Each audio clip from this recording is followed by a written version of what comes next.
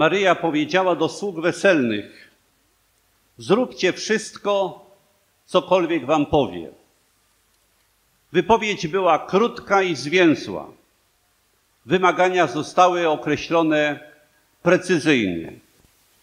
Zróbcie wszystko, a więc bez wyjątku. Zróbcie cokolwiek wam powie, bez zbędnych pytań. W tym jednym zdaniu zostało zawarte wezwanie do absolutnego zaufania Jezusowi i do pełnego posłuszeństwa. Moi drodzy, Chrystus zostawił wiele poleceń, zostawił wiele rozkazów, mówiąc językiem wojskowym. Przypomnę tylko trzy. Idźcie i nauczajcie wszystkie narody, udzielając im chrztu. Uczcie je zachowywać wszystko, co wam przekazałem. Będziecie moimi świadkami aż po krańce ziemi. A więc Jezus polecił nam, nauczajcie wszystkich, podkreślam z mocą to wszystkich, przekazujcie całą naukę, nie tylko wyjątki, ale całą naukę. I bądźcie świadkami Boga i Kościoła, nawet gdyby trzeba było płacić wysoką cenę cenę prześladowań, rozlewu krwi, a nawet męczeństwa. Bracia i siostry, drodzy pielgrzymi, we współczesnym świecie żyją ludzie, którzy mówią wprost: Nie wierzę w Boga, odrzucam Ewangelię, to mnie nie interesuje. Obserwujemy jednak, że przybywa tych, którzy domagając się poszanowania własnego wyboru, podejmują wiele starań, aby zamknąć nasze usta, aby nam zabronić przekazywania Jezusowej nauki współczesnemu światu. Oni nie chcą, abyśmy realizowali polecenie idźcie i nauczajcie wszystkie narody. I tak jest, że w wielu rejonach świata chrześcijanie za wierność Chrystusowi płacą cenę najwyższą. Są takie kraje, gdzie posiadanie krzyżyka, posiadanie Pisma Świętego kończy się karą, kończy się więzieniem.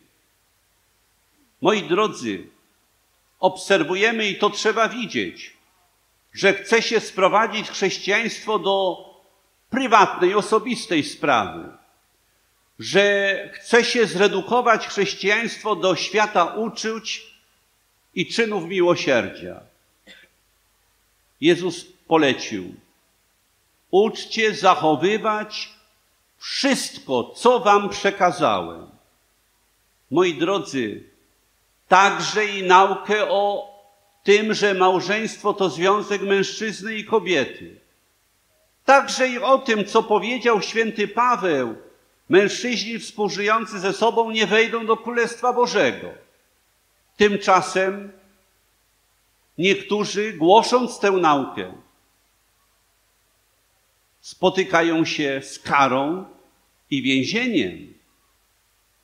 Bracie i siostry, współczesny świat często spłyca i zmienia znaczenie niektórych pojęć, jak tolerancja, jak towarzyszenie.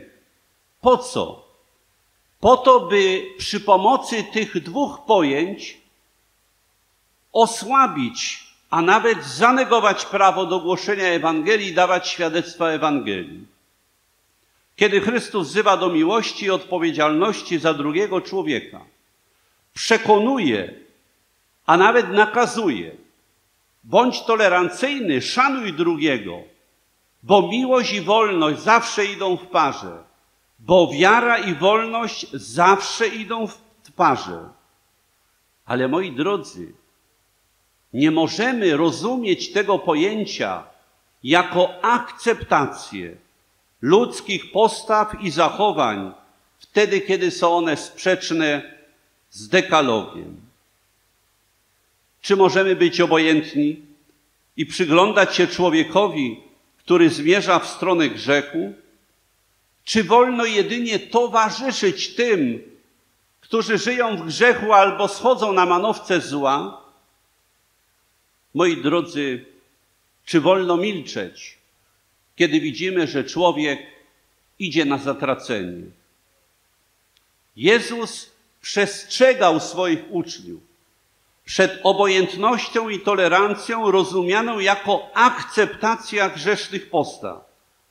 Upomnienie, reakcja na zło jest naszym obowiązkiem. Jezus nigdy nikogo nie potępiał. Jezus mówił o grzechu i mówił o miłosierdziu. Wzywał do nawrócenia i do opamiętania. Bracia i siostry, drodzy pielgrzymi, należycie do tej grupy ludzi, która nie chce wieść życia kanapowego, jak to bardzo pięknie w zeszłym roku powiedział papież Franciszek. Podjęcie pielgrzymiego trudu wynikało z waszego przekonania, że nie, przyszli, nie przyszliśmy na świat, aby wygodnie spędzić życie, żeby z życia uczynić kanapę, która nas uśpi. Jako chrześcijanie, słuchani w polecenie Maryi, uczyńcie wszystko, cokolwiek wam powie.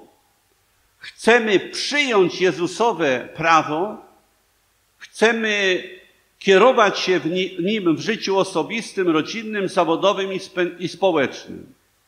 Ale moi drodzy, chcemy być świadkami i chcemy również we współczesnym świecie Chrystusową naukę przekazywać.